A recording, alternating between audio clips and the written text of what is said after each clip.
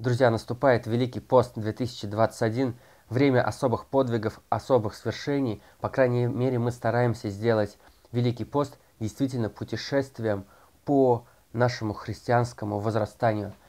Кто-то отказывается от курения на эти 40 дней, кто-то старается чаще посещать богослужения ставит себе планку выше, кто-то читает больше молитв, кто-то что-то и делает еще по благословению батюшки, либо сам – чувствуя необходимость каким-то образом изменить свою жизнь. Может быть, больше тратить время на своих близких, либо оказывать дела милосердия, либо жертвовать большую часть денег, чем раньше. В общем, каждый выбирает сам для себя подвиг, который, конечно же, не ограничивается только едой.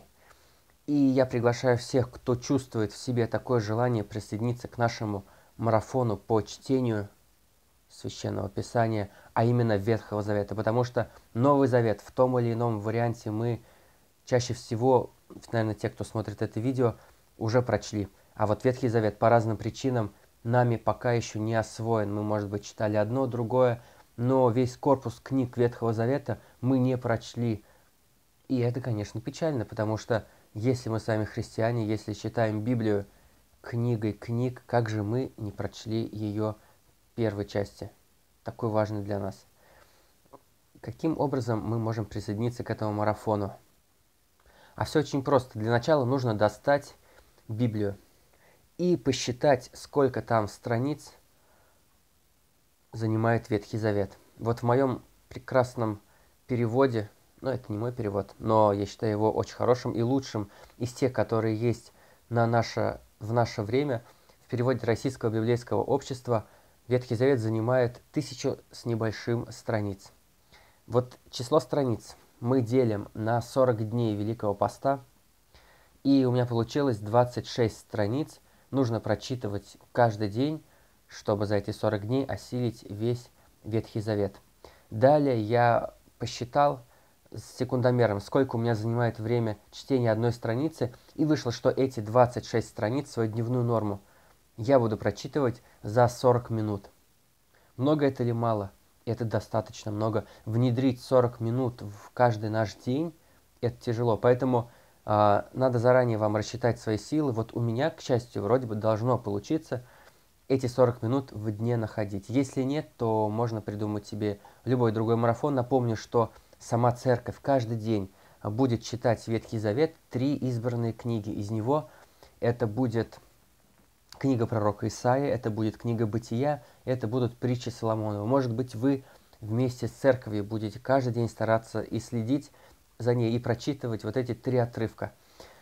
Ну а те, кто захочет осилить весь Ветхий Завет, подсчитывать то время, которое он будет тратить на чтение своего числа страниц, своей дневной нормы, и после этого пытается внедрить их в свой распорядок. Для меня 40 минут подряд читать Ветхий Завет – это будет тяжело даже в прекрасном переводе.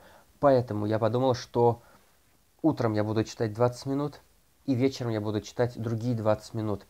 В итоге выйдет мои 40 минут, и я буду прочитывать свою дневную норму. Что тут очень важно понимать? Надо трезво оценить свои возможности.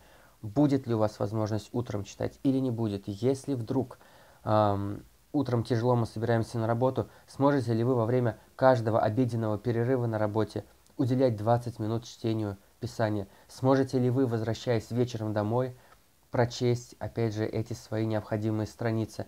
Надо все продумать и внедрить в рутину, чтобы вы точно знали, не просто, что вот мне надо в день прочесть там 26 страниц, ничего у него не получится.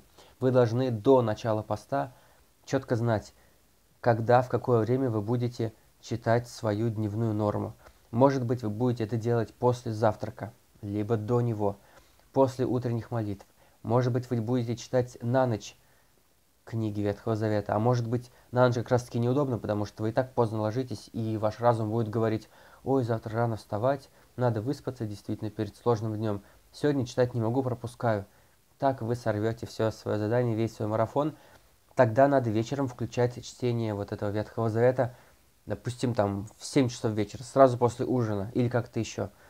Поэтому каждый продумывает для себя, в какой участок дня нужно внедрить чтение этой великой книги, даже не книги, а книг.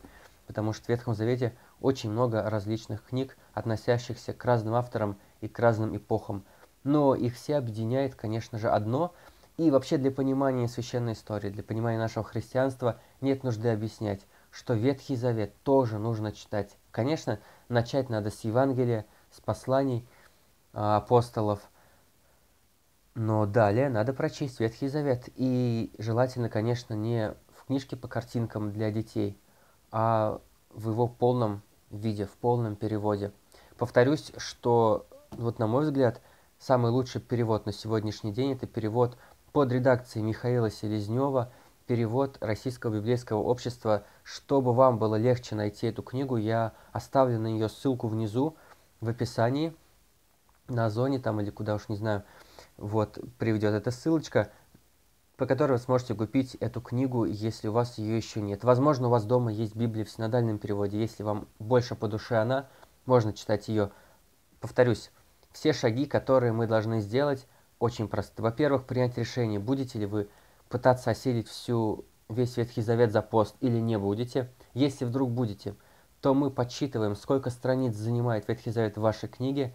Далее высчитываем, сколько нужно читать страниц в день Далее высчитываем, сколько времени у нас это займет, и после этого внедряем вот в наш рабочий график э, чтение Библии. Мы должны знать четко, когда, в какое время, после какого действия нашего ежедневного мы будем садиться за чтение Библии. Ну все, с Богом. Если вы присоединяетесь к нашему марафону, ставьте плюсик в комментариях, мы будем знать, и пишите свой город, откуда вы. Я думаю, это будет здорово и замечательно. Все вместе мы постараемся сделать это дело и выйти из Великого Поста, уже прочитав Ветхий Завет. Одна маленькая ремарка. Может быть, конечно же, так, что, начав с жаром это делать, мы поймем, что ну, ну, мы просто не успеваем. Либо мы поймем, либо мы вдруг заболеем там, или что-то случится, и мы не сможем осилить наш марафон.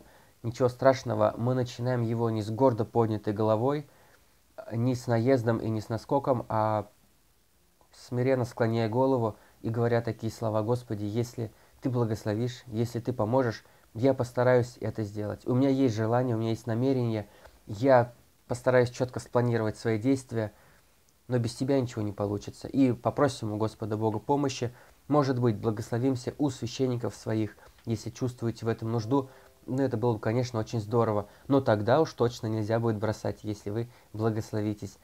И с Богом! Великий пост 2021.